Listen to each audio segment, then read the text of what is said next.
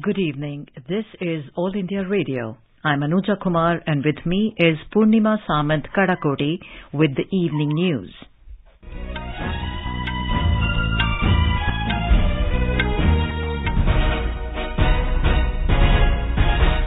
The headlines.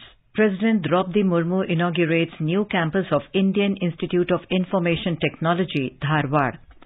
Prime Minister Narendra Modi departs for Japan to attend the funeral of former Japanese Prime Minister Shinzo Abe in Tokyo. Government setting up multi-state export house for promotion and export of agriculture products globally with the Amul brand, says Union Cooperation Minister Amit Shah. Peace-loving India should not be mistaken as being afraid of war, says Raksha Mantri Rajnath Singh. Government to provide facility to apply for police clearance certificate services at all online post office passport seva kendras across the country. Ministry of Rural Development's Jal Doot app to capture water level of selected wells in a village across the country. Information and Broadcasting Ministry blocks 10 YouTube channels for spreading misinformation. National Testing Agency declares results of the Common University Entrance Test postgraduate. Italy set to get its first woman Prime Minister Giorgia Meloni as her party Brothers of Italy won the national election. Nine-day-long Navratri festival to worship goddess Durga begins today. Prime Minister Narendra Modi extends greetings to everyone.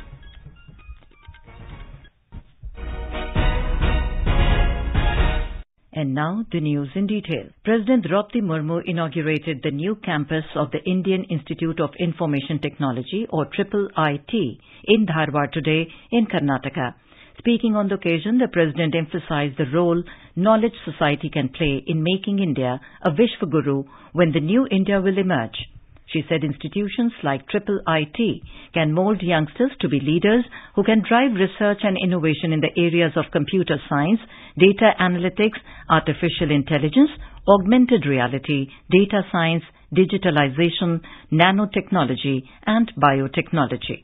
She pointed out that the new national education policy introduced by the central government prepares the institutions of higher learning to adopt the best means to educate youngsters in the areas of research and innovation. She emphasized the need for India to play an important role in the fourth industrial revolution waiting to happen. Triple IT Dharwad will offer BTech now in the IT sector and will introduce MTech in the days to come. Prime Minister Narendra Modi has left for Tokyo tonight to participate in the state funeral of former Prime Minister of Japan, Shinzo Abe. In a tweet today, Mr. Modi conveyed his heartfelt condolences to Japan's Prime Minister Fumio Kishida and Mrs. Abe on behalf of all the Indians. The Prime Minister termed Shinzo Abe a dear friend and a great champion of India-Japan friendship. He said work will continue to further strengthen India-Japan relations as envisioned by Shinzo Abe. Briefing media in New Delhi on the visit, Foreign Secretary Vinay Mohan Kwatra said the ceremony will be held at Budokan Arena, which will be followed by a greeting occasion at Akasaka Palace in Tokyo. He said representatives from over a hundred countries and more than 20 heads of state are expected to participate in the state funeral. These include Australian Prime Minister Anthony Albanese, US Vice President Kamala Harris, and South Korean Prime Minister Han Duck-soo. This visit by Prime Minister Modi will be an opportunity for him to honor the memory of former Prime Minister Abe, who he considered a dear friend and a great champion of India-Japan relationship. Prime Minister Modi and Prime Minister Abe have developed a personal bond of trust and friendship through their numerous meetings and interactions spanning over a decade, beginning from Prime Minister Modi's visit to Japan in 2007 as the then Chief Minister of Gujarat. Mr. Modi will meet his Japanese counterpart Fumio Kishida during the visit. The Foreign Secretary said it will be an opportunity for the two leaders to reaffirm their commitment to further strengthening India-Japan special strategic and global partnership. Japan is one of the most trusted and valued strategic partners of India. The two sides are committed to strengthening bilateral partnership in key areas that include trade and investment, defense and security, climate change, health security, infrastructure, digital space, industrial development, energy, and critical and emerging technologies and human resources, among others. There is a deep convergence in our visions of Indo-Pacific region and there is close cooperation between our countries on issues of international importance.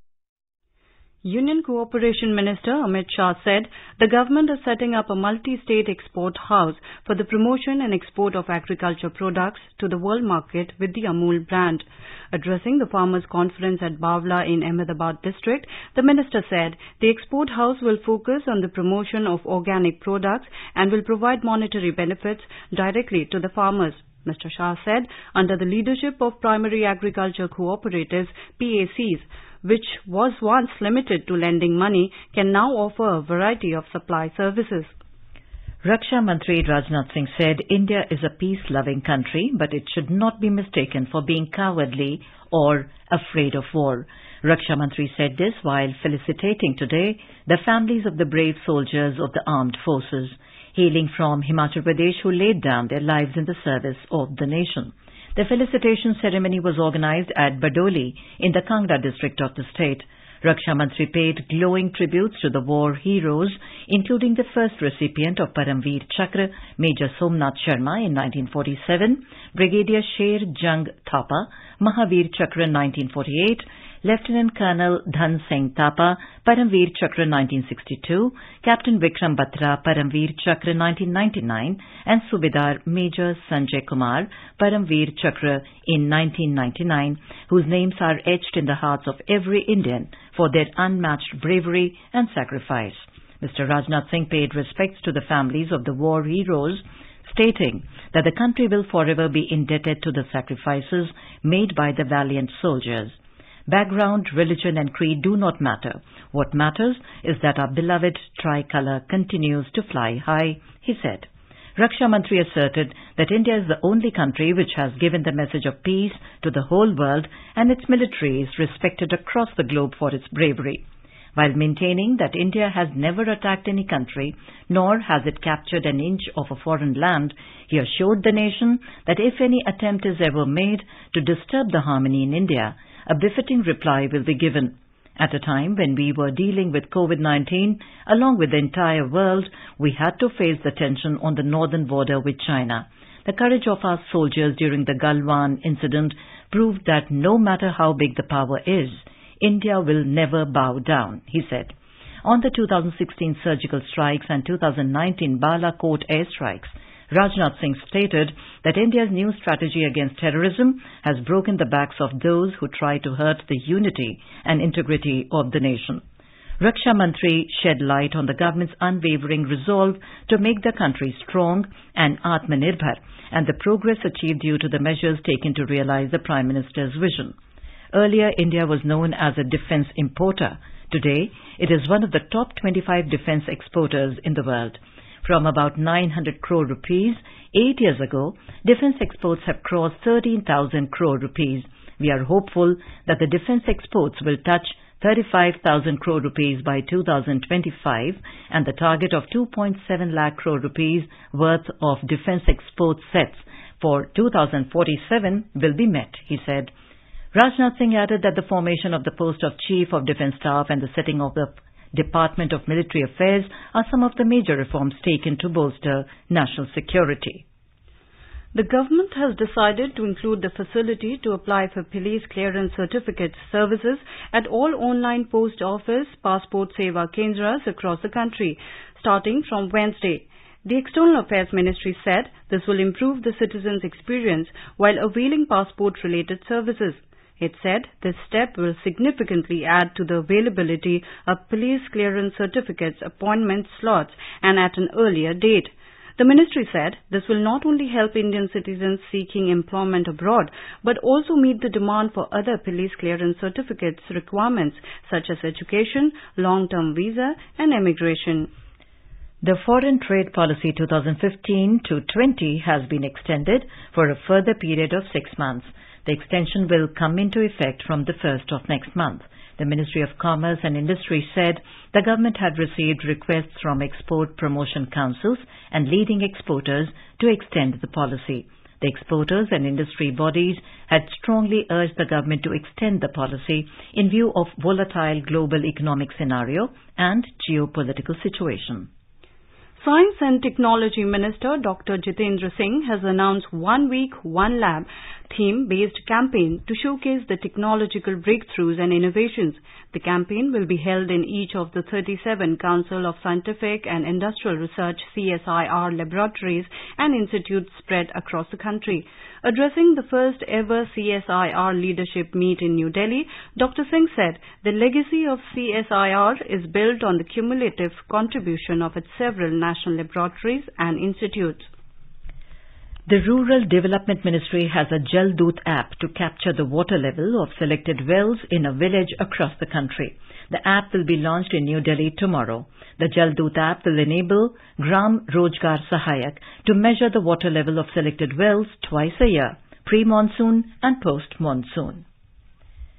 The Information and Broadcasting Ministry has banned and suspended 10 YouTube channels.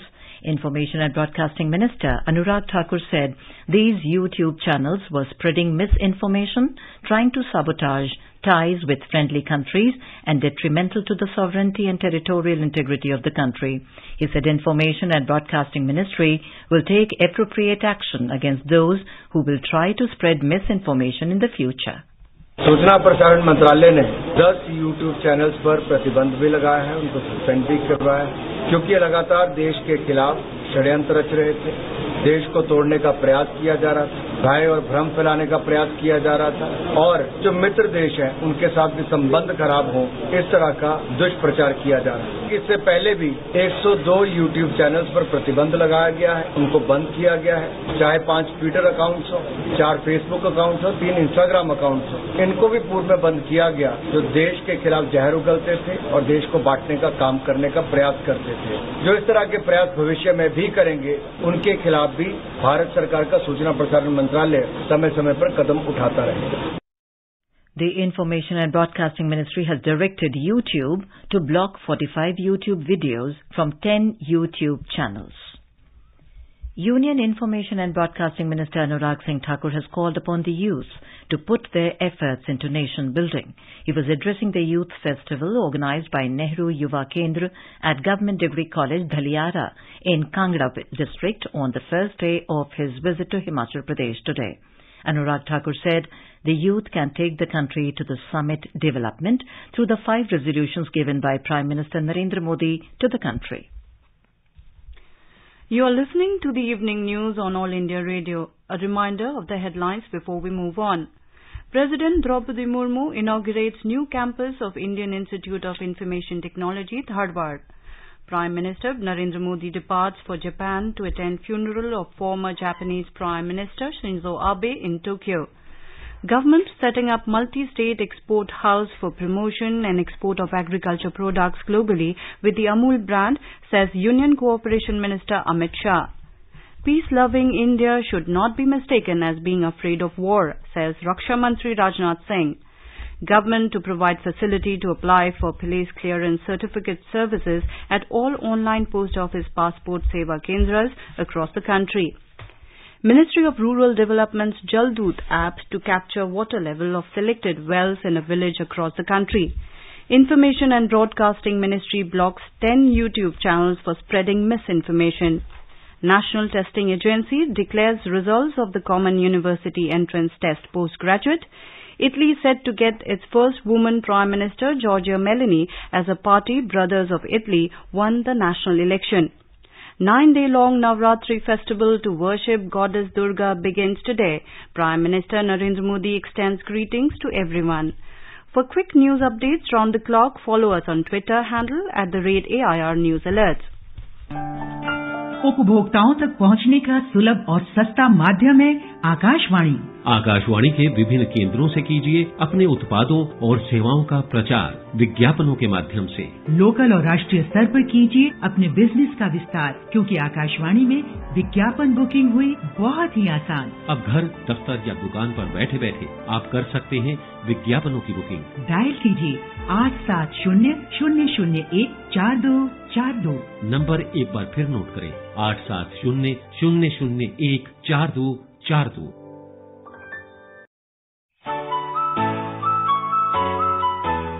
प्रतियोगी परीक्षाओं की तैयारी करने वालों के लिए इस बार अभ्यास कार्यक्रम में विषय होगा पब्लिक एडमिनिस्ट्रेशन इस सब्जेक्ट पर अपने सवाल आप हमें व्हाट्सएप करें nine two eight nine zero nine four zero double four पर या फिर आप ईमेल करें Abhyas dot A I R news at Gmail dot com पर।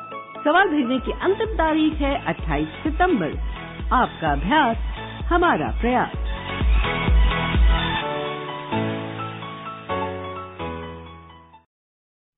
Welcome back to the evening news on All India Radio. Finance Minister Nirmala Sitharaman will review the performance of credit and other welfare schemes for scheduled castes in public sector banks in New Delhi tomorrow. The chairman of the National Commission for Scheduled Castes and heads of public sector banks and financial institutions like SIDBI and NABARD will also attend the meeting. During the meeting, the credit given to persons belonging to the scheduled caste community by the banks as well as various loan schemes will be reviewed.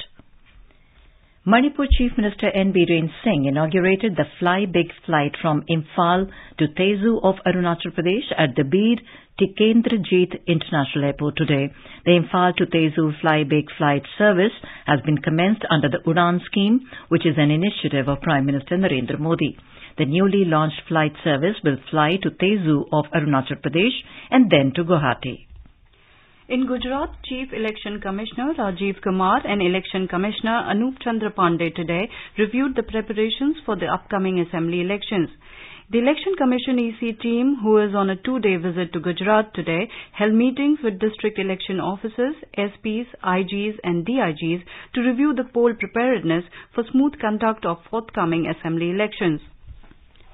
In Jammu and Kashmir, senior politician Ghulam Nabi Azad today announced the name of his party as Democratic Azad Party, stating that the Azad word in the party's name should not be connected with his name as it portrays that the party will be independent.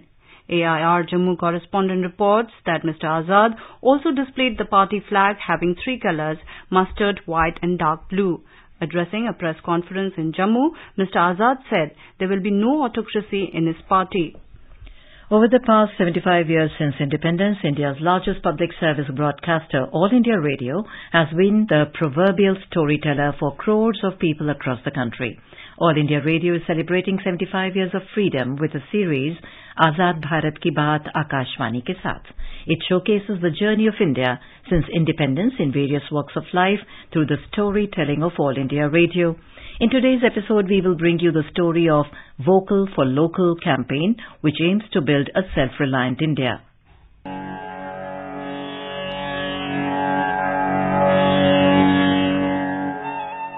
From an increased focus on Indian firms for public procurement to offering tax incentives to foreign and Indian companies for local manufacturing, the government has raised its Vocal for Local pitch. Vocal for Local has become the latest trending slogan which has emerged during the COVID-19 pandemic. The idea behind this movement finds its root in the Swadeshi movement which was promoted by Mahatma Gandhi and popularized in 1905 during the Indian independence struggle. It was seen as a way to imbibe the feeling of nationalism and nationalistic pride among Indians. The aim of the Vocal for Local campaign is to promote local industries and consume local wherever possible so that the long-term effects of an increase in demand can be used to develop the domestic industries and make them gradually self-reliant. Economic analyst Puneet Jain says the pitch of vocal for local will help in the upscaling of production and eventually make India a manufacturing center for the world, thereby aiding the country's aim to become a $5 trillion economy by 2025. So government's campaign to boost manufacturing in India through its campaign Vocal for Local has actually many benefits. It generates a lot of employment within the country and of course it helps us to manage our import and uh, reduce our dependence on other economies. We need to uh, develop local industries, the small and medium enterprises which employ a lot of people. They depend on local manufacturing, on local companies which sell goods and services within India. The main target of course is employment. It also helps to generate revenues within India which will help us in managing the macroeconomic situation. If we have very strong domestic manufacturing base, then we are also able to export those uh, goods and services to the other parts of the world to become a $5 trillion economy in two to three, three years. Vocal for Local gives unequivocal importance to the domestic industries and the small-scale shops and stores. This movement can also be seen as an impetus to boost demand and hence to throw a lifeline to the small and marginal domestic industries which are struggling to survive in the wake of the COVID-19 pandemic. If demand shifts in favor of domestic companies, then the advantage is threefold. First, it will reduce dependence on foreign products and cut down on the import pressure. Second, it will give a fighting chance to domestic companies to survive through the crisis period. Third, it will place India in a strategic position to emerge as the new manufacturing center of the world. Also, the slogan Vocal for Local does not only mean that the products should be made in India, but the promotion of those products should take place so as to make those products competitive. During his Independence Day address in 2020, Prime Minister Narendra Modi said, mindset of free India should be vocal for local. He raised a clarion call to the citizens of vocal for local, one of the most potent slogans the country has heard in the last 50 years. हम अपने लघु उद्योगों को सशक्त करेंगे हम सब local के लिए वोकल बनेंगे और हम ज़्यादा इनोवेट करेंगे एम्पावर करेंगे अपने युवाओं को, महिलाओं को, आदिवासियों, दिव्यांगों को, दलितों को, गरीबों को, गाँव को पिछड़ों को हर किसी को। आज भारत ने असाधारण गति से असंभव को संभव किया है। इसी इच्छा शक्ति इसी लगन इसी जज्बे के साथ प्रत्येक भारतीय को आगे बढ़ना है। इक्कीसवीं सदी का ये तीसरा दशक हमारे सपनों को पूरा करने का दशक होना चाहिए। An extension of this slogan is local for global that local products in India should have global appeal and reach come let's make vocal for local a jeevan mantra and take a country to unprecedented heights during this Amrit Kaal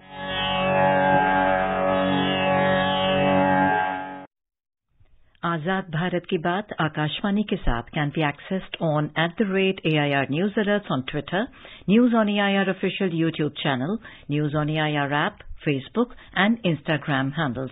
So tune in to All India Radio News for Azad Bharat की बात आकाशवाणी के साथ देश भर में धूम मचाए ज्ञान का ये उपहार मोबाइल पे आज़ादी क्वेस्ट आया आज़ादी क्वेस्ट ये लो जीतो ढेरों इनाम। मौका पाए जुड़ने का रेडियो और डीडी के साथ। सिर्फ़ खेल नहीं, उत्सव है। आज़ादी का अमृत महोत्सव है। आज़ादी का अमृत महोत्सव है। डाउनलोड करें आज़ादी क्वेस्ट ऐप और पाएँ ढेरों इनाम। The National Testing Agency has declared the results of the Common University Entrance Test Postgraduate CUET PG this evening. Candidates can check and download their scorecards from the official website cuet.nta.nic.in or nta.ac.in. More than 6,07,000 candidates had registered for the entrance test, while around 3,34,000 candidates appeared at the examination.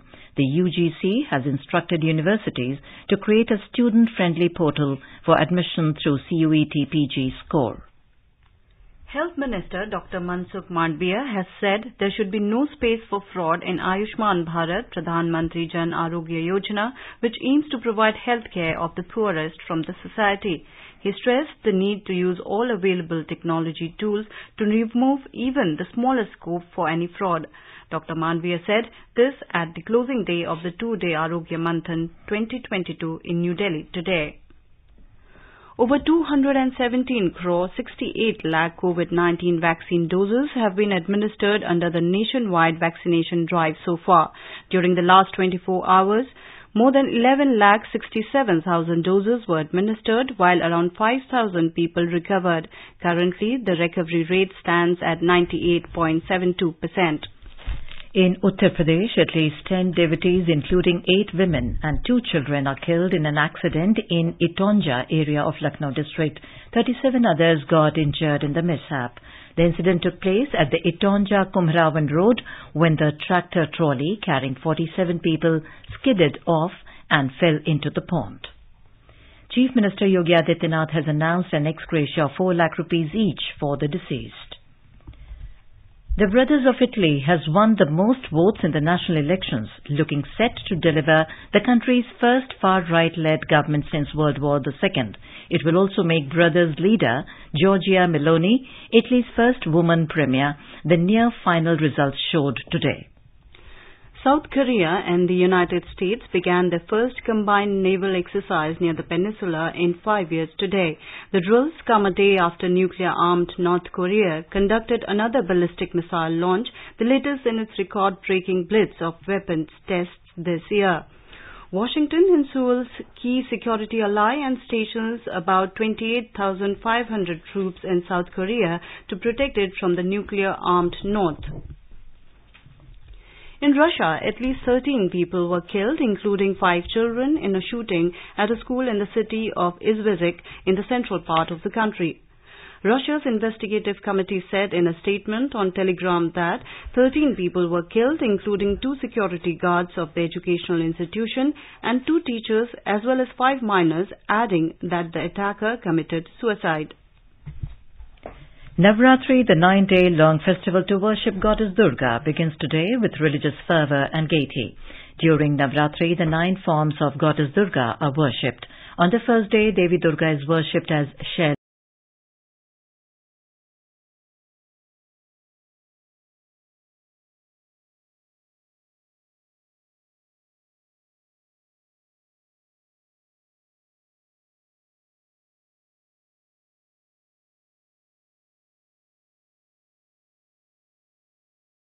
In Jammu and Kashmir, the Mata Vaishno Devi shrine atop the Trikut Hills in Reasi district of Jammu division is all decked up to welcome the pilgrims arriving for the nine-day Navratri festival. Over 3 lakh pilgrims from across the country and abroad are expected to visit the shrine during the festival. In view of this, the Sri Mata Vaishno Devi Shrine Board is putting in place all necessary arrangements including security to meet the heavy rush. Prime Minister Narendra Modi has greeted the nation on the occasion. In a tweet, he sought divine blessings from Ma Durga for the people. He hoped that everyone is happy and healthy and there is prosperity and brotherhood all around.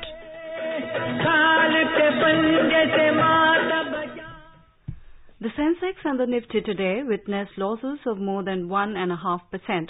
A report from the business desk. The Sensex plunged 954 points to close at 57,145. The Nifty also declined 311 points to end at 17,016. In the forex market, the rupee depreciated 63 paise against the US dollar to finish at all-time low level mainly due to strengthening of the US currency. The domestic currency closed at 81 rupees and 62 paise against the American unit. At the multi-commodity exchange, gold futures for October was trading at 49,580 rupees per 10 grams, and oil prices fell for a second day on fears of lower fuel demand from an expected global recession sparked by rising worldwide interest rates. In the intraday trade, Brent crude was trading at $85.35 per barrel. Nishit Kumar for AIR News. Now let us have a look at the weather forecast for tomorrow. National capital Delhi is expected to have a partly cloudy sky. Mumbai is likely to experience rain or thunder showers towards afternoon or evening. Kolkata will have a partly cloudy sky with possibility of moderate rain or thunderstorm. And Chennai is expected to have a generally cloudy sky with light rain. And now before we end the bulletin, the headlines once again. President Draupadi Murmu inaugurates new campus of Indian Institute of Information Technology, Dharwad. Prime Minister Narendra Modi departs for Japan to attend the funeral of former Japanese Prime Minister Shinzo Abe in Tokyo. Government setting up multi-state export house for promotion and export of agriculture products globally with the Amul brand, says Union Cooperation Minister Amit Shah. Peace-loving India should not be mistaken as being afraid of war, says Raksha Mantri Rajnath Singh government to provide facility to apply for police clearance certificate services at all online post office passport seva kendras across the country. Ministry of Rural Development's Jal Doot app to capture water level of selected wells in a village across the country. Information and Broadcasting Ministry blocks 10 YouTube channels for spreading misinformation. National Testing Agency declares results of the Common University Entrance Test postgraduate. Italy set to get its first woman Prime Minister Giorgia Meloni as her party Brothers of Italy won the national election. Nine-day-long Navratri festival to worship goddess Durga begins today. Prime Minister Narendra Modi extends greetings to everyone. And with that, we end the evening news. Good night.